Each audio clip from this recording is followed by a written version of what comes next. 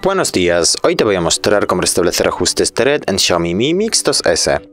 Para eso hay que abrir la aplicación Ajustes. Ahora hay que abrir la pestaña Conexión y Compartir.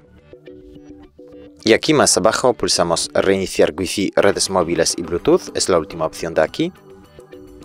Pulsamos aquí Recuperar ajustes, confirmamos, aceptar, esperamos un poquito y ya está, como ves los ajustes ya se han restablecido.